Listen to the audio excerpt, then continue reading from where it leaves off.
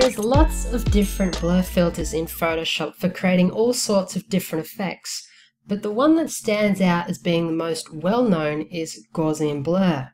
Now at this stage, you might be asking yourself, why on earth would I want to blur my photos? Well, the reality is that there are many circumstances when working in Photoshop that you may need the assistance of a Gaussian blur. Some examples off the top of my head could be to change the focus in an image by blurring specific areas that aren't important in order to draw attention to those that are. So it's very similar to just changing the depth of field in your camera. You can actually do that in Photoshop. Um, if you're working with layer masks, for example, Gaussian blur comes in very handy for softening the effects of the actual mask itself. Or, if you'd like to take the edge off really coarse film grain or noise for that matter in a photograph, applying Gaussian blur works like a treat. Let's now take some of the examples that I mentioned above and put them into practice. So here's a photograph that I captured that quite clearly has a large depth of field where the entire image is in focus. Now what I want to do is essentially reduce the depth of field just so it's specific to the car. Now this was shot with a wide angle lens so it's going to work quite nicely um, and also so that just along the plane of focus, which will be sort of along this area here, will be the only areas in focus. And it'll actually, I think it'll come up quite nice. So the first thing that I need to do in order to actually create this effect is to duplicate the background layer because essentially that's what I'm going to be applying the Gaussian blur to. So Gaussian blur is located up underneath filter, blur, Gaussian blur. Now you'll also notice there are a variety of other blur filters here that you can play around with. Um, there, there are some really good ones for creating some really specific types of effects, such as motion blur, but for this particular tutorial, we're just going to stick to Gaussian blur.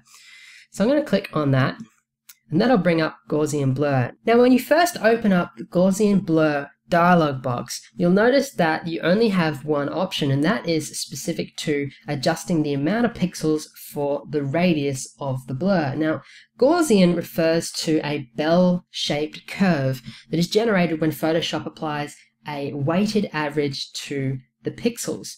And as you start to actually reduce the amount of uh, pixels and then increase them, you'll notice that the amount of blur changes quite dramatically. So for this particular um, uh, this particular tutorial, I think I'm going to set my Gaussian blur to about 50 pixels. I think that'll work quite well for this image. You'll also notice that you have a preview uh, window here. If you click on it with your mouse, it'll actually show you at 100% or your chosen magnification by changing the minus and uh, plus icons here, uh, how much blur you're actually applying to the image. You can also use the preview uh, checkbox as well, just to sort of give you some indication. So I'm going to stick with 50 and we're going to click OK. So the next thing I essentially need to do is actually create a selection around the areas that I actually want in focus or the areas that I don't want in focus. Either way will work fine. So what I'm going to essentially do here is, is, is create a selection using the lasso tool just for um, efficiency. So uh, you can either press uh, click on it with your mouse or press L on your keyboard to bring that up. And what I'm going to do is basically do a very rough sort of outline around the car.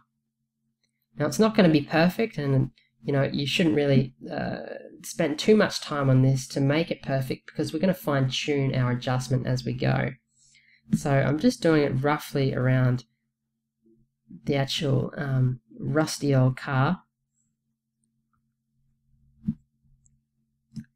Once we have our selection, what I'm going to do then is actually choose to um, apply it as a layer mask. So what I'm going to do first is I want to invoice, uh, I want to inverse the selection so that these areas are now selected around the outside of the car so that I can actually go ahead and um, create my layer mask so that only the blur is applied to those areas. Now you'll notice that it's quite a um, coarse mask, meaning that I haven't actually feathered it or anything, but that's not to worry because I'm going to show you a little technique using Gaussian blur in a minute. So the next thing I want to do is just adjust the uh, actual layer mask so that I also include some other areas. So I'm going to grab a um, brush tool. And then from there, I'm essentially going to make sure that you're actually selected on the layer mask here. And what I want to do is also make sure that I have black selected as my um, as my actual paint palette or foreground color. And then I'm just going to increase the size of my brush and I'm going to start to actually start including other areas of the image that I want to be in focus. So I'm just going to roughly sort of go around some of these areas here.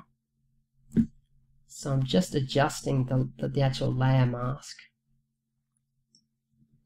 And I think that's that's not too bad. Now I'm going to change it to white and I'm just going to pull back a little bit here. And then what I can do is just slightly start to refine my selection that I made there, just touching up some of the uh, edges around the actual car itself. Also, I'll need to touch up just through the actual window because obviously we don't want, whoops, we don't want the background that goes through there uh, to be in focus. And this is just very rough, but you can really spend, you know, a fair bit of time actually adjusting this yourself in the future uh, to get it really precise if you're going to do a really nice print of this type of um, of this type of image. And once you've done uh, basically what I've done here by blurring some of these edges, you'll also notice that some of these are starting to blur and look a little bit unusual around the outside there, so I'm going to have to touch them up as well. But once I've done this, the next trick to do to make this uh, is to uh, essentially blur the layer mask just to, to actually diffuse some of the edging that I've actually created there. Um, but I will just touch up this corner here. Oh, wrong one. We'll just slightly touch up this corner just a little bit. So as you can see there, that's, that's done a relatively uh, good job of actually creating and centering the focus specific to this car and just around some of the edges here uh, of this plane of focus. And that actually looks quite, quite natural. Um, but the next thing I'm going to do is hold down Alt on my keyboard or PC keyboard, or hold down Option on the Mac, just to bring up my actual layer mask. And what we can do then is if we've got these really coarse edges here, if we don't want coarse edges with our layer masks, and we haven't actually taken the time to either uh, reduce the hardness of the brush that we're actually using or the uh, actually feather our selection, what we can do is go to filter and then just as if we were to apply Gaussian blur to an image, we could actually apply it to our layer mask. And you can actually blur your layer mask. So that can be very helpful as well um, in the process of creating layer masks for your images. So I might just give that say about 10. So now my computer's actually caught up. I'm going to apply just around 9 or 10 pixels to this particular layer mask just to diffuse some of those coarser edges. So we'll click OK.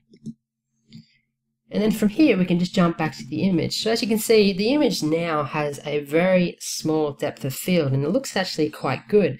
Now obviously with a larger resolution file, I'm going to have to go in and actually fine tune my adjust, uh, adjustments that I've actually made. So as you can see there, I've missed out on some areas, but you get the general idea for how to go about and actually implement some of these techniques for your photographs. So as you can see, Gaussian blur can be used for a variety of applications and is something that you should include in your bag of Photoshop tricks.